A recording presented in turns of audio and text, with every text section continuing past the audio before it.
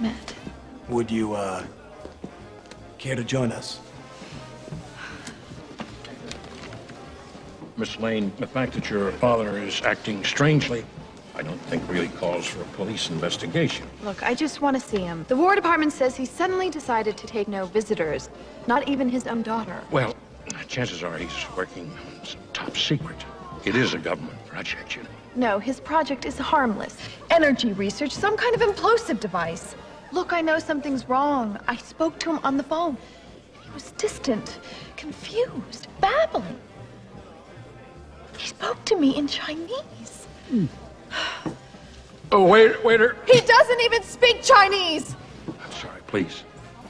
Tomorrow, I'll uh, send a policeman